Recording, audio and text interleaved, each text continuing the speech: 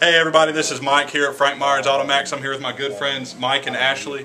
Uh, they just bought a GMC Denali four-door truck, um, exactly what they came in here looking for. Um, we got everything worked out for them. Um, let me ask y'all this, what was your favorite part about your experience here at Frank Myers? Uh, just the service and everybody uh, willing to change prices. All right, all right. Well, uh, you heard it here. Uh, we, we, provide good service. We'll try to get everything worked out for you exactly the way that you want. Um, so if you or anybody you know needs a vehicle, come on down, see me. My name is Mike, or any of our non-commissioned sales professionals here. Now is my favorite part. Um, we get to do the ceremonial gong. Um, who wants to hit it? You got to hit it hard enough for everybody to hear at home. All right.